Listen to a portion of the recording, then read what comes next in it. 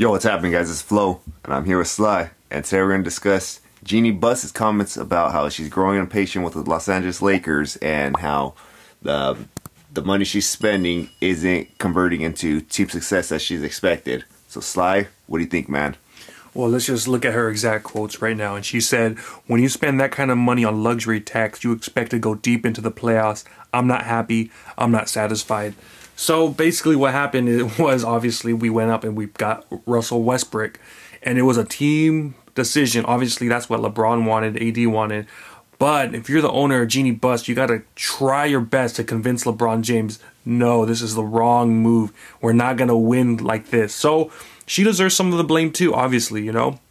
I don't think her comments to the media saying this out loud to people, I don't think it's good. I don't like I don't know how it's gonna help out the team. I don't know how it's gonna help out LeBron James and him like, oh, I want to stay now because I'm pretty much being thrown on their bus. Yes, I feel it was LeBron's fault for what happened because knowing how you pick up Russell Westbrook, knowing how you win championships with that full. But at the end of the day, it's time to move on. You know, it's time to move on. And Jeanie Buss can't be tarping on the past. She's got to freaking they got to get together, try to find a way to get rid of his ass, Westbrook, and move on. Because talking like this, you know, it's just, I think it's just bringing negativity to the forefront, and we don't want that. You know, it's time to just try to get that next championship next year, try to get ready, but you know, just let it go because you were part of the problem. You you were the final say that said, yeah, let's get him. So time to move on. I wouldn't be telling the media about all your your upsetness because a lot of owners I think would be love to be in that position where they have two of the greatest players on the planet on their team right now. So, you know, careful, Jeanie. You got to be careful, man. Yeah, I definitely agree with the Westbrook part. Um, obviously, she's right as far as the money not translating to W's, and Westbrook's probably the major reason because he's obviously our highest paid player. And but she did sign off on it, like you said.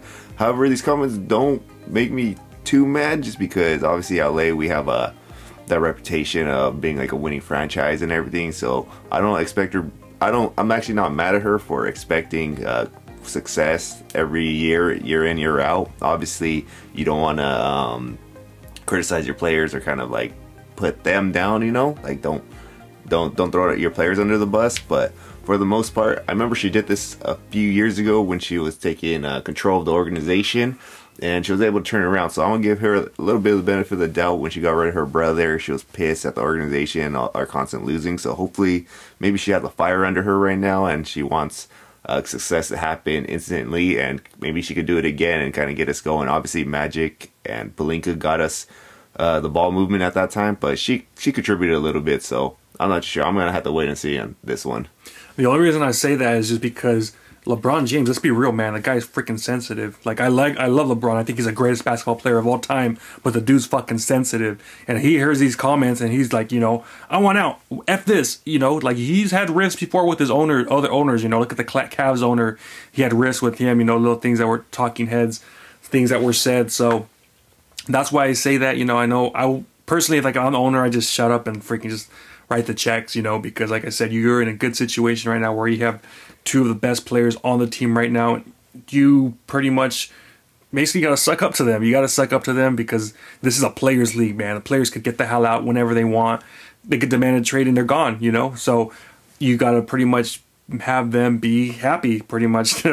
Because, like I said, this isn't 1980s anymore. This ain't the 90s no more. This is a way different league right now where these players control where they go if they want to go. So, we'll see, man. Like I said, hopefully this year it's a really big year. It's a big test for the Lakers. What's going to happen in the future? So we got to make moves right now.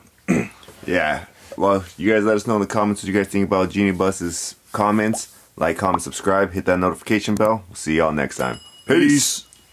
Peace.